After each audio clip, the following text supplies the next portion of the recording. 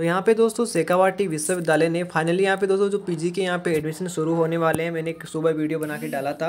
तो यहाँ पे दोस्तों जो लिस्ट है वो यहाँ पे आ चुकी है, आप देख सकते हैं यहाँ पे वेबसाइट पे जाके भी। और बाकी मैं अभी आपको बताने वाला हूँ कि कौन कौन से विषय की जो यहाँ पर एडमिशन यहाँ पर शुरू होने जा रहे हैं। तो चलिए दोस्तों, सबसे पहले आपको वेबसाइट को ओपन कर लेना है। वेबसाइट को दोस्तों ओपन करने के बाद में यहाँ पे आपको रेड मोर पे क्लिक करना है और यहाँ पे देखिए बारह ग्यारह दो हज़ार बाईस का जो अपडेट आया हुआ है तो यहाँ पे आपको इस पर टैप करना तो आपके सामने पीडीएफ वो डाउनलोड हो जाएगी। तो यहाँ पे थोड़ा वेट करते हैं। अब दोस्तों यहाँ पे नीचे हमारे पास में पीडीएफ आ चुकी है, इसको हम ओपन करते हैं और यहाँ पे देखते हैं। तो यहाँ पे दोस्तों फ़ीस वगैरह सब कुछ दिया हुआ है कि कितनी फ़ीस वगैरह है और यहाँ पे शुल्क क्या रहेगा, जो कुछ भी यहाँ पे दोस्तों दिया हुआ है, हम पूरे इस वीडियो को देखने वाले हैं। और जो आपका फॉर्मेट है, जैसे आप एडमिशन लेना चाहते हैं पीजी के अंदर तो उसका यहाँ पे फॉर्मेट सब कुछ दिया हुआ है। तो वन बाय वन मैं आपको बताने वाला हूँ। प्लीज़ आप इस वीडियो को पूरा देखना स्किप मत करना। और आपके जो साथीगण हैं, जिन्होंने भी यू कंप्लीट किया है तो वो भी पी करना चाहते हैं तो उनके लिए भी है। तो चलिए इस वीडियो को देखते हैं। थोड़ा मैं इसको दोस्तों जूम कर लेता हूँ।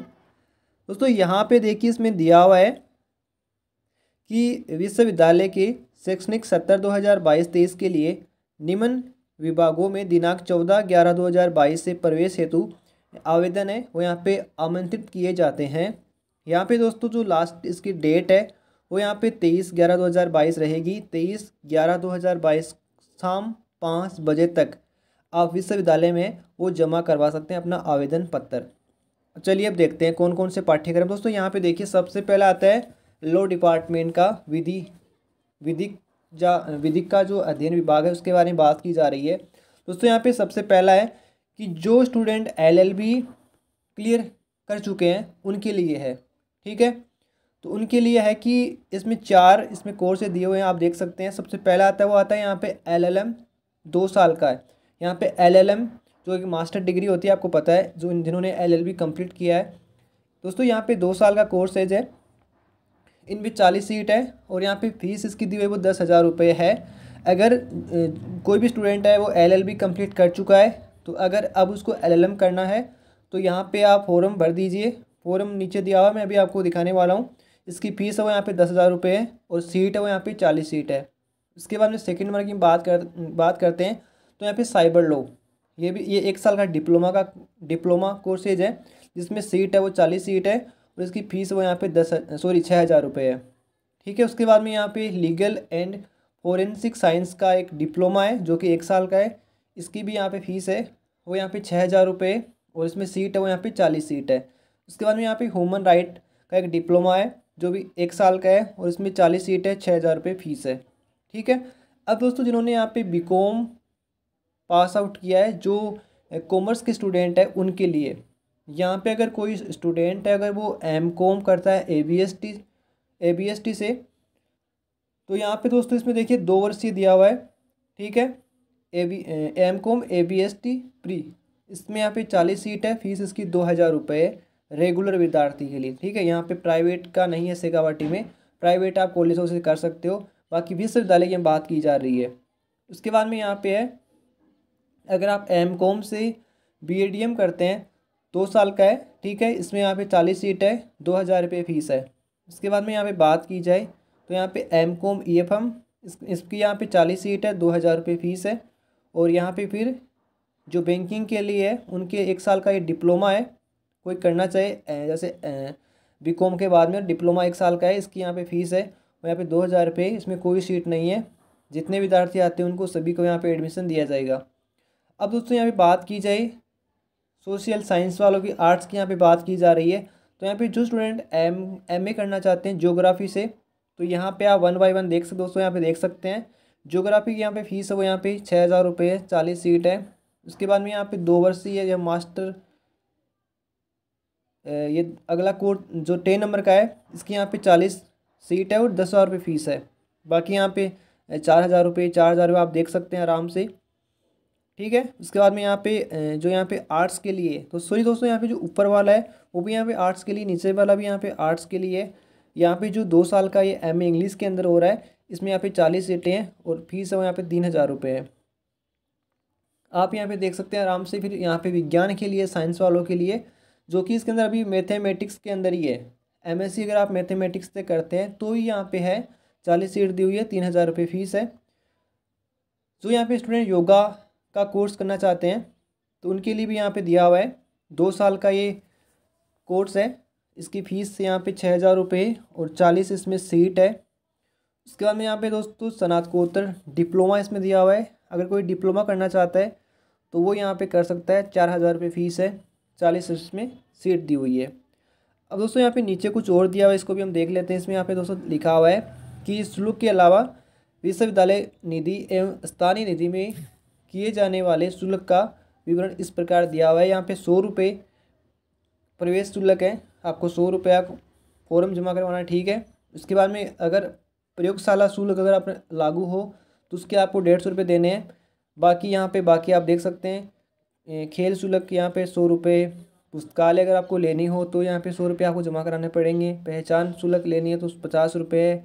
उसके बाद में यहाँ पे पहचान की कोई दूसरी प्रति लेनी है, आपको कॉपी लेनी है तो यहाँ पे सौ रुपये चुनाव शुल्क यहाँ पे, सौ रुपये जो कि आपको जमा करवाना होगा।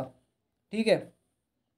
अब यहाँ पे दोस्तों देखिए, कुछ यहाँ पे दिशा निर्देश दिए गए हैं। तो इनके, इनको भी हम देख लेते हैं जो कि यहाँ पे सत्रह दिशा निर्देश हैं। तो चलिए इनको देख लेते हैं वन बाई वन जो हमारे काम के हैं। सबसे पहला दोस्तों यहाँ पे जो विधि के विद्यार्थी हैं जो लॉ के डिपार्ट लॉ की स्टूडेंट उनके लिए, यहाँ पे है कि तीन वर्षीय और पाँच वर्षीय स्नातक और स्नातकोत्तर डिप्लोमा उत्तीर्ण विद्यार्थी के लिए यहाँ पे योग्य होंगे। मैंने अभी आपको बताया कि जो विद्यार्थी यहाँ पे तीन वर्षीय एलएलबी या फिर पाँच वर्षीय एलएलबी कर चुके हैं, उनके लिए ये यहाँ पे है, जो कि यहाँ पे एलएलएम, साइबर, ये सॉरी यहाँ पे साइबर लॉ और लीगल एंड फोरेंसिक साइंस का आप कोर्स कर सकते हैं। लेकिन आपके यहाँ पे परसेंटेज यहाँ पे पचास परसेंट होने चाहिए अगर आपको एडमिशन लेना है तो। बाकी यहाँ पे जो एलएलएम है इसके अंदर आपको यहाँ पे फिफ्टी फाइव आपके होने चाहिए परसेंटेज और बाकी यहाँ पे है स्नातकोत्तर डिप्लोमाधारी अभ्यर्थी को विधि, व्यवसायिक पाठ्यक्रम में स्नातक उपाधि होनी अनिवार्य है। इसके अलावा यहाँ पे एडमिशन है, वो नहीं दिया जाएगा। बाकी दोस्तों, इसमें आप देख सकते हैं आराम से जो काम की मैं आपको बता रहा हूँ। बाकी आप इसको वीडियो को पोज कर लीजिए, क्योंकि यहाँ पे वीडियो सात मिनट का हो चुका है, बहुत बड़ा हो जाएगा। तो फिर आपको पता है इसलिए आप इसको वीडियो को आराम से पोज कर लीजिए। बाकी अगर आपको इसका लिंक चाहिए तो आप सीधा वेबसाइट पर जाइए, वहाँ पर आपको मिल जाएगा। बाकी दोस्तों, आप आराम से इसको देख सकते हैं। बाकी यहाँ पे दोस्तों क्या क्या डॉक्यूमेंट चाहिए? यहाँ पे मेन बात होती है तो इसमें पॉइंट नंबर तेरह आप देख सकते हैं कि इसमें दसवीं और बारहवीं की अंक तालिका आपको देनी होगी। स्नातक आपका यूजी किया हुआ, जो भी आपका मार्कशीट है, उसकी फ़ोटो कॉपी या फिर आपकी जो, और साथ में यहाँ पे आपका मूल टी सी सी सी जाति प्रमाण पत्र, आधार कार्ड की फ़ोटो कॉपी ये आपको यहाँ पे जमा करवानी है। हार्ड कॉपी दिनांक, आपको चौदह ग्यारह दो हज़ार बाईस से तेईस ग्यारह दो हज़ार बाईस को शाम पाँच बजे तक आपको जमा करवा देनी है विश्वविद्यालय में। डॉक्यूमेंट मैंने आपको बता दिया। दसवीं, सबसे पहले आपको फॉरम है, वो भरना होगा। उसके बाद में दसवीं, बारहवीं, मार्कशीट आपको साथ में लगानी है। स्नातक की आपको मार्कशीट साथ में लगानी है। टी सी सी सी और यहाँ पे जाति प्रमाण पत्र, आधार कार्ड की फ़ोटो कॉपी ये आपको सारे डॉक्यूमेंट लगाने हैं और आपको चौदह से तेईस तारीख तक शाम को पाँच बजे तक आपको ये जमा करवाने की विश्वविद्यालय का टाइम है, वो यहाँ पे पाँच बजे तक का है। ठीक है? अब दोस्तों यहाँ पे देखिए अभ्यर्थी को आवेदन पत्र को पूर्ण रूप से भरकर दो सौ रुपये आवेदन शुल्क के साथ जमा करवाना है। आपको दो सौ रुपये वहाँ पर जमा करवाना है। अगर आप ये कर नहीं करते तो आपका आवेदन है वो पूर्ण नहीं माना जाएगा। अगला दोस्तों में पॉइंट वो दिया हुआ कि सभी पाठ्यक्रम में प्रवेश पूर्णतया मेरिट के आधार पर होगा। यहाँ पे अगर आप फॉर्म जमा करवा देते हैं तो उसका मेरिट लिस्ट निकाली जाएगी। उसके आधार पर आपका एडमिशन होगा। और यहाँ पे देखिए, जो यहाँ पे राज्य सरकार द्वारा जारी किए गए जो दिशा निर्देश है उसके अनुसार ही होगी। तो यहाँ पे आरक्षण की व्यवस्था दी गई, उसके अनुसार यहाँ पे होगी।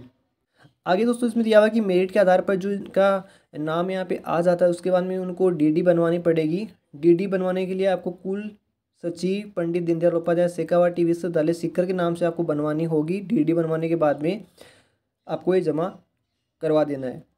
उसके बाद में यहाँ पे सत्रह नंबर पॉइंट उसमें दिया हुआ है कि समस्त पाठ्यक्रमों में राजस्थान के बाहर अवस्थित किसी भी महाविद्यालय में स्नातक होने पर पात्र हेतु न्यूनतम साठ प्रतिशत होना आवश्यक है। अगर दोस्तों, अगर आप राजस्थान से, राजस्थान के बाहर से हैं, ठीक है, और आपको यहाँ पे शेखावाटी विश्वविद्यालय से M A M com M M S C या फिर आपको एल एम वगैरह करनी है तो आपके यहाँ पे सिक्सटी परसेंटेज होनी चाहिए अगर आपको एडमिशन लेना है तो। क्योंकि फिर साठ के आधार पर जो मेरिट लिस्ट है वो यहाँ पर निकाली जाएगी।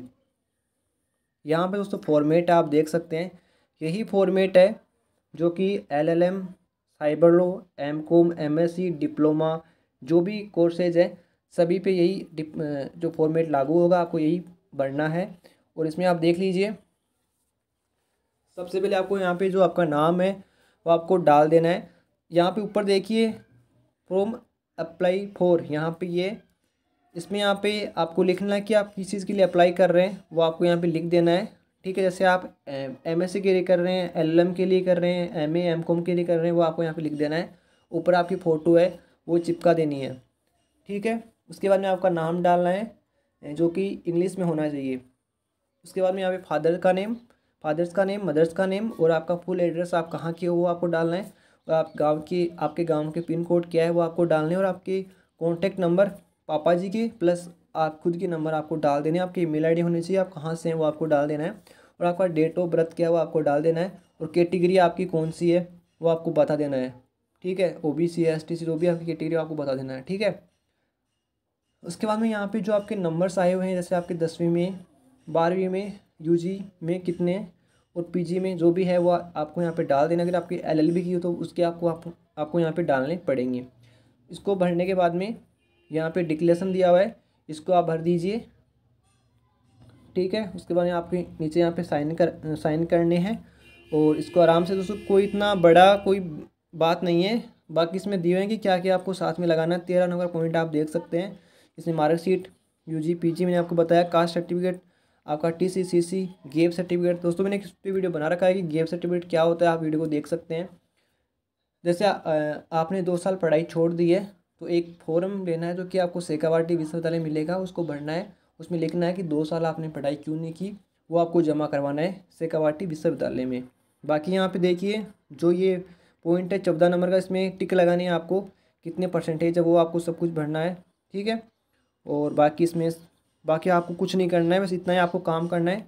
ये फॉर्म आपको निकाल अगर आपको निकालना है तो इसका भी मैं अलग से लिंक दे दूँगा, या फिर आप टेलीग्राम पर जाइए, आप सर्च कीजिए ओनली स्टूडेंट हेल्पलाइन वहाँ पर आपको मिल जाएगा।